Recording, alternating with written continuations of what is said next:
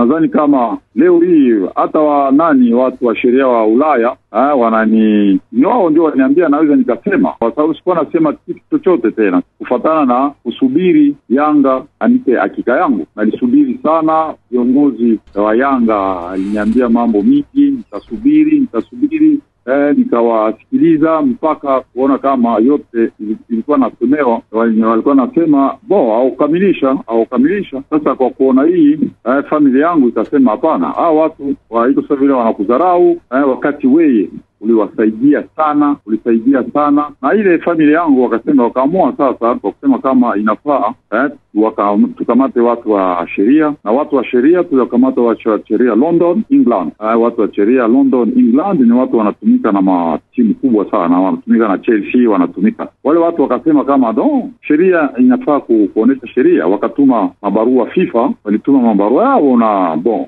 kufatana na maamuzi leo. Kama anasema nisema sababu sheria ilishaamua, FIFA aliamua, aliamua na ndio maana anasema kama FIFA angeamua amngenisikia hata siku moja, mi nasema singesema hata siku moja. Leo waliamua na ile maamuzi ilishafikia viongozi wa mpira hapa Tanzania TFF ilipata nani sheria yenyewe maamuzi iliyotoka eh, na kwa kusema kama maamuzi iliyotoka ni ile wa jana, watu wa sheria wangu Ulaya wananitumia barua, wananipigia simu, wanashangaa kufatana na sheria ilitoka. FIFA ilishaamua maamuzi yake yote ya mwisho, waliamua na ile maamuzi sasa, ndio watu wangu walishangaa kuona kama nani eh, namna gani walituma barua walituma mail ya kusema kama kuna timu inadaiwa eh, na ile sasa watu wangu wa sheria walishangaa kuona kama walisema kama timu yoyote inadaiwa haiwezi cheza ligi, haiwezi cheza ligi. Na wakati barua ilifika, ligi ilikuwa karibu siku nne tano, ligi haianza. Sasa mie swali yangu ni hii, wanayanga wote wenyewe watasikia. Nalisumulia na viongozi wakubwa wa Yanga wengi,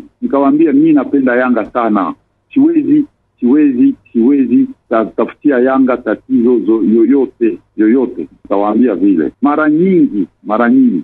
Leo hii mwanayanga wowote mwenyewe anasikia maneno kama hayo, Zaera alijitolea kwa timu hii kufikia fasi iliyofikia. Nauliza swali moja tu, wanayanga wote, washabiki, wananchi wote wenyewe kusikia hii, waulize wale viongozi, sababu gani amumpe Zaera pesa yake? Sababu gani?